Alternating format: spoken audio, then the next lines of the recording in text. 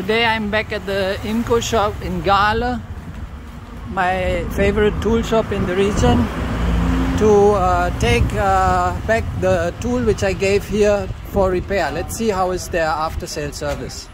Some other customers, they have the same um, request to repair the INGCO tool. My one is now fixed. I will ask how much this cost. Here the Karonakara. This replacement. Ah, these parts, yeah. Now, uh, my tool looks, of course, very old because I'm using it very often and very strongly. Yes, and the, and the little boards of the bearings are also flying around. That's normal. I mean, that thing was working very rough on, on many hard works, rocks, brick walls, concrete. So let's see how much it will cost.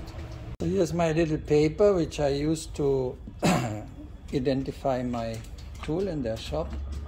The good mechan now this is holding again because I was working with it during a few hours without the repaired part and that was really difficult because I had to hold the, the metal chisel so he's switching it on just to see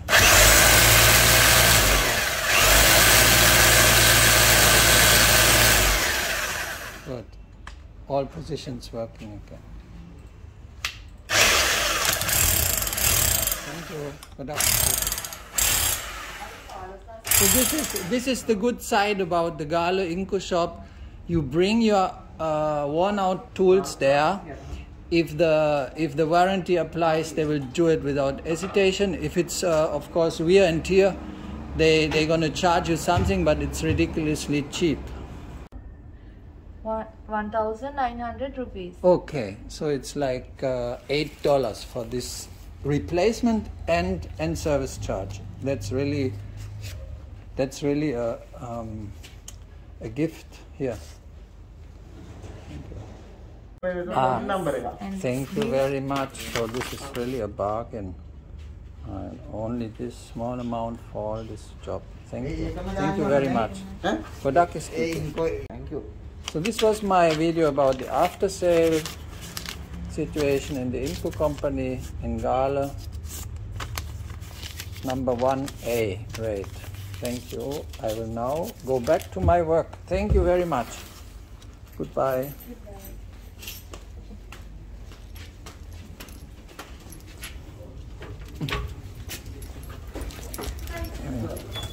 Ah, my little parts all together. Thank you.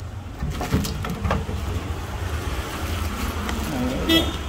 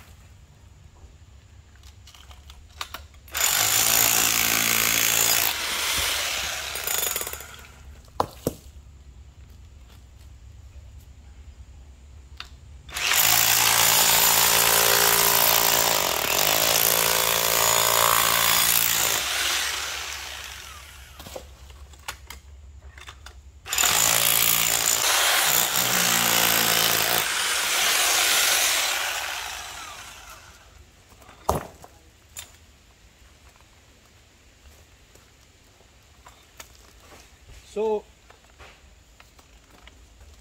do I recommend this tool from INGCO?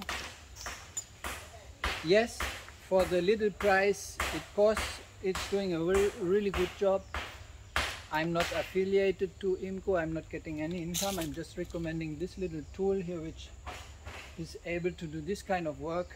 It saves you a lot of time instead of doing it by hand. Now the repair of the tool has to be included in your calculation because over the time there are a few things which need to be fixed. This front part I had replaced that was only $8. That cable here usually breaks here inside. That's normal because when you move it all the time like this it's just going to break sooner or later. Then it needs to be replaced but it's very easy to do. Uh, if you do it in the INGCO shop, they're gonna just fix it for also just a very few dollars. Or you can even do it yourself if you're a little bit more versed into electrics of appliances like these. Needs to just to take off that part and you can replace the cable.